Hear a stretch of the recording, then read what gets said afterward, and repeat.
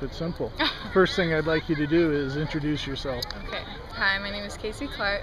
Kaysie and- Clark, and you're Mhm. playing for, Missouri. and you uh, you're a freshman. Yes, I am. You just got done. What'd you do 10 months ago? Um, I won a state championship. You won a state title with the Liberty Jays, didn't you? So just 10 months ago, you were over at uh, the uh, soccer park, and you'll be back on Saturday. That's one reason I wanted to talk to you. You guys are going to play against Illinois.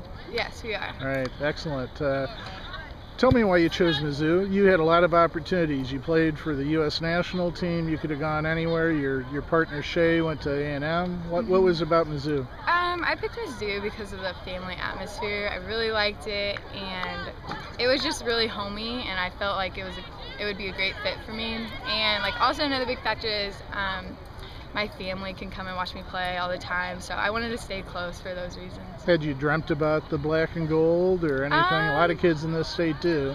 Well, actually, I like told myself I did not want to go there. I was not gonna pick Missouri, but then I went on a visit and like I fell in love with it. So The campus is wonderful. Right. You uh, you grew up as a midfielder. Mhm. Lots of play, playmaker, right? You can Uh-huh. see you're a playmaker. I would Yes, assume sir. you can assume, but you're playing as a forward for the Tigers. Mhm. Describe that transition. Um.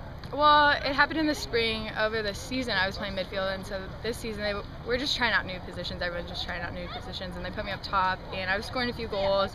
So they thought I would stay. I don't know. I played I play more defense up top than I do in the midfield, so I like that too. There you go. When you got some nice partners up top, the that speedster number 14. My goodness, she can run around Melissa anybody.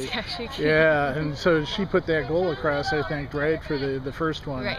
The one. Uh-huh. Okay. Well, what uh, what do you guys expect? You guys didn't have the season you wanted to in uh, 2011. Right. Um, we were really young, and I think a lot of we had nine freshmen coming in, and I think it was a big transition from definitely from high school for me. It was a big transition coming in, and just like the physical, um, like difference, and everyone just being a lot older than you.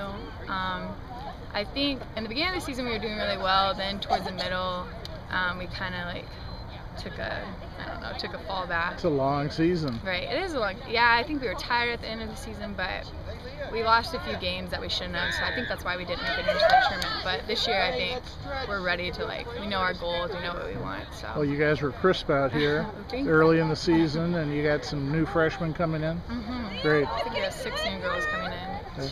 Well, we'll look forward to seeing you again 10 months uh, later on Saturday against Illinois. Well, thank you. Thanks, Miss Clark.